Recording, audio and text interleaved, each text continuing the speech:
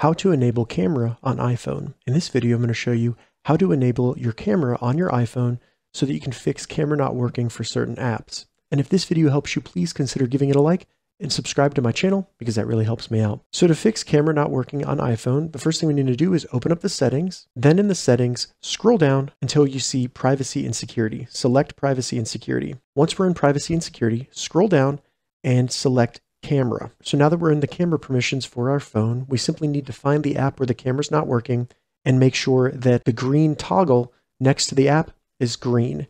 So just turn it on like that, and then you have enabled the camera for that app. Now, if for some reason you don't see your app in this list, what I recommend doing is uninstalling that app, rebooting your iPhone, and then reinstalling that app and that should fix the issue where the app did not successfully request the permissions from your iPhone. Then you can simply go in this list, find the app, and enable the camera for that app.